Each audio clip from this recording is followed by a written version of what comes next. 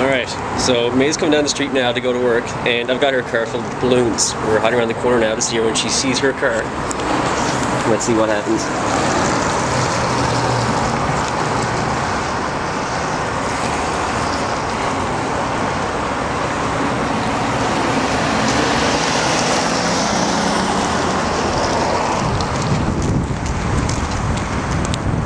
Hi, May! You missed my ugly shagger comment.